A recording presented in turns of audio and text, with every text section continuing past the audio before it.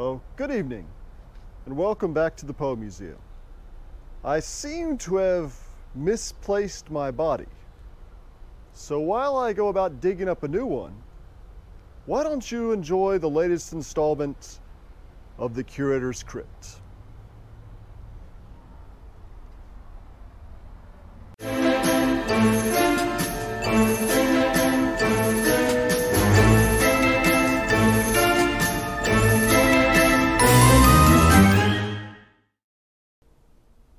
Portrait of Edgar Allan Poe's mother, Eliza, the famous actress.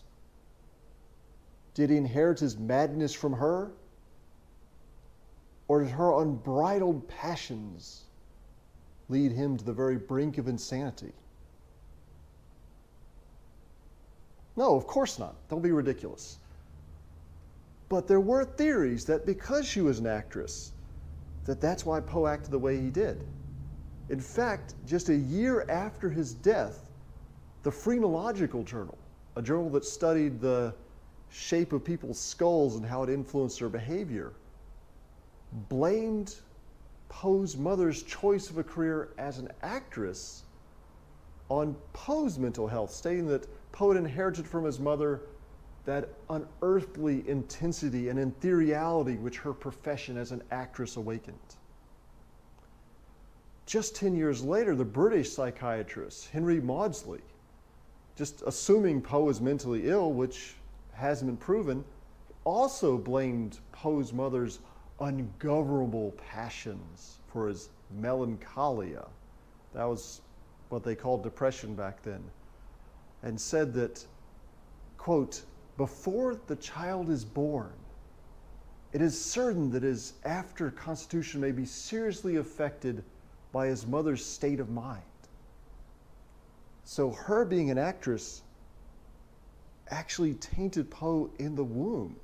According to Maudsley, Poe, having born, been born the son of an actress, was thus born under a canopy of remorse and imbibed as his first lesson the melancholy dirge of never, nevermore.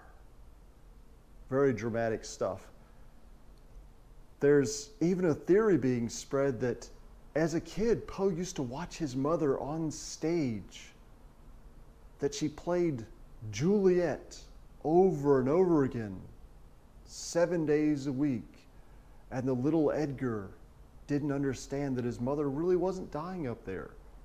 He couldn't reconcile that the mother he saw die on stage would visit him immediately after the performance. Once again, ridiculous. We know exactly what Poe's mother performed, and she wasn't playing Juliet over and over again. In fact, he probably wouldn't even have seen her play it. And how do we know what Poe's mother performed? Well, she was a famous actress. We just have to look to the newspapers, and we have plenty of bound volumes going back to 1806, 1807. Other institutions have even earlier ones. This is the Boston Gazette from 1806 through 1807. We also have over here copies of the Columbian Centinel. And when we look up close, we can see advertisements listing Poe's mother and the different parts she played. And we know more about those parts because we actually have some of the scripts from the plays in which she and her husband performed. Look at this. This is The Foundling of the Forest. And we can see in the cast here, this is from 1809.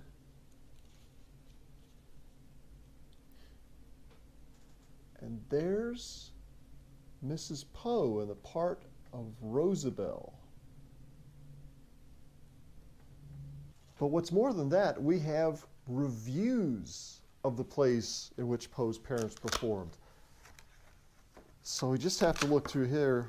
This is an 1806 or 1807 volume of The Polyanthus, a little Boston periodical, and Poe's mother performed a lot in Boston.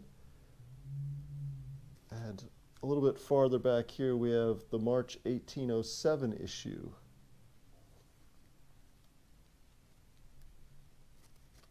and some unkind words about Poe's father, who's playing the part of Barnwell.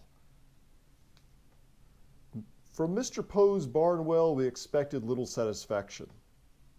And of course, we're not disappointed. But then down at the bottom of the page, we have Little Pickle. It's from a play called The Spoiled Child about this little boy called Little Pickle. His father's name is Pickle, and his aunt's name is Miss Pickle. So it's the Pickle family, and Little Pickle's this rotten little boy. At one point, the family thinks they're eating pheasant, but he's actually murdered their parrot and served it to them. And this was a big hit for Mrs. Poe. This is one of her most famous parts. And she was playing this when she was nine years old. But now she's 20 years old, and just a few months earlier, she's given birth to Edgar's older brother, Henry. So imagine this 20 year old woman playing the part of little nine year old boy. And the reviewer says, Little Pickle by Mrs. Poe, if we may be allowed to use a pun, was very green little pickle. That must have been hilarious back then to say that. So we have a lot of information about the different places that Poe's mother performed, the different parts she performed, the audience reception. I wonder if we could actually visit one of those places that Poe's mother performed. Well, the last place Poe's mother ever performed was right here in Richmond at the Richmond Theater back in 1811. We've got a picture of it right here. Unfortunately, you can tell from the picture there's a problem. It's on fire. The theater actually burned down just a couple weeks after Poe's mother died, so we can't visit it. But there is one other place here in town that she did visit. It's only a couple blocks from the museum at the Richmond Randolph Lodge, which at the time was one of the largest buildings in town and we can go to the very room in which she performed. But before we go, I'm going to have to put on my coat and scarf because it's a little bit chilly outside.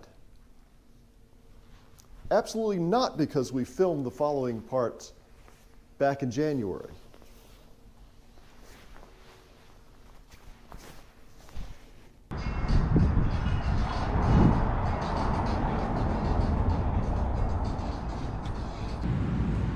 I'm here with Michael Joyner from the, the Richmond Randolph Lodge. And he's going to tell us, well, what do we know about Eliza Poe's performance?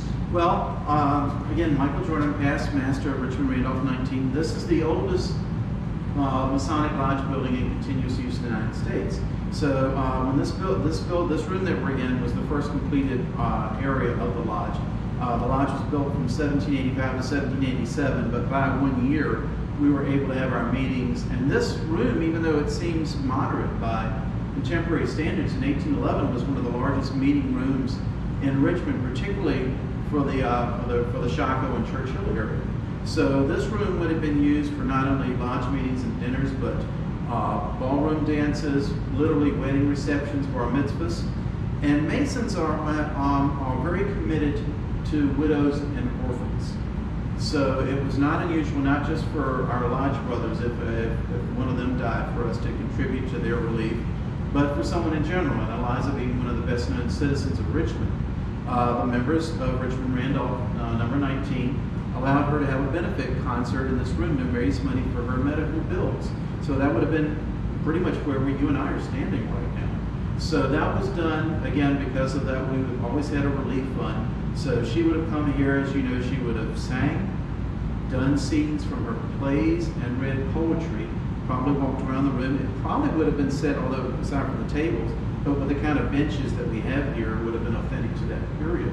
So people would have sat in this room and watched her from this period, probably with the uh, warmth of the uh, the uh, fireplaces, which would have been used in that area, and all the money that was raised would have gone to pay for the uh, the medical bills, as I understand it, it was called consumption in those days, and we would now call it tuberculosis.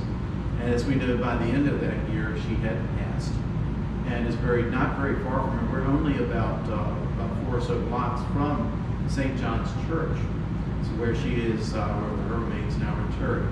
I guess one of the curiosities maybe you know is whether Edgar himself would have been here as a child. It, it certainly wouldn't have been unusual for him, you know, to him have been sitting here with a nanny or, or someone, and it's very possible that he was here in the building at that time. Well, it certainly was a chilly June afternoon out there. But before we conclude our curator's crypt on Poe's mother, why don't we take a look at what Poe said about her? And this is a guy who grew up being made fun of, being picked upon by other kids who thought they were better than Poe because his mother was an actress. But as an adult, he wrote that no earl was ever more proud of his earldom than I was to be the son of such a talented woman. In fact, once writing to one of his mentors, Nathaniel Beverley Tucker, at 26 years old, Poe wrote to him In speaking of my mother, you have touched a string to which my heart fully responds. To have known her is to be an object of great interest in my eyes. I never knew her.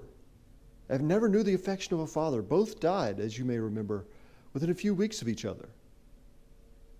I have many occasional dealings with adversity, but the want of parental affection has been the heaviest of my trials. So, on that note, I'd like to thank you for joining us on this week's installment of the Curator's Crypt.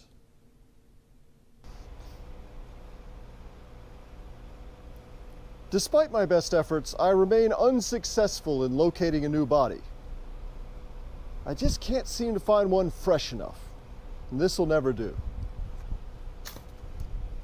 But if you'd like the freshest episodes of the Curator's Crypt before anyone else has a chance to see them, be sure to support the Poe Museum at patreon.com slash Poe Museum.